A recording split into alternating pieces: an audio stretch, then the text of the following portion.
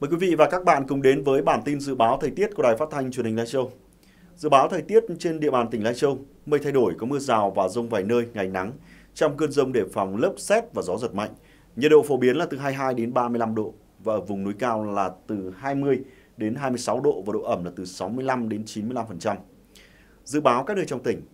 Tại khu vực thành phố Lai Châu, nhiệt độ phổ biến từ 22 đến 30 độ và độ ẩm là từ 65 đến 95%.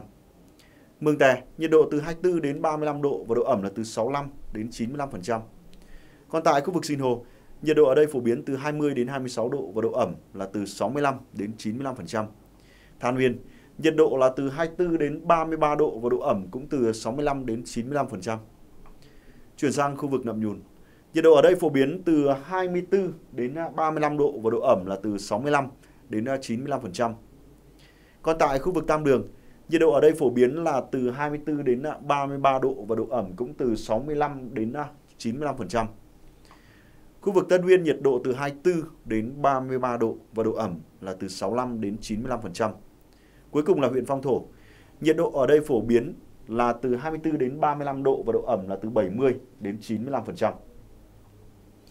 Thưa quý vị, à, những ngày nắng nóng nhiệt độ ngoài trời lên cao, thời tiết bắt đầu trở nên oi bức và khó chịu. Cơ thể của chúng ta Ờ, cũng không tránh khỏi những nguy hiểm tiềm tàng ảnh hưởng đến sức khỏe. Đặc biệt, thời tiết nắng nóng như thế này làm môi trường thuận lợi cho vi khuẩn sinh sôi nảy nở và các loài côn trùng cũng ờ, không phải ngoại lệ.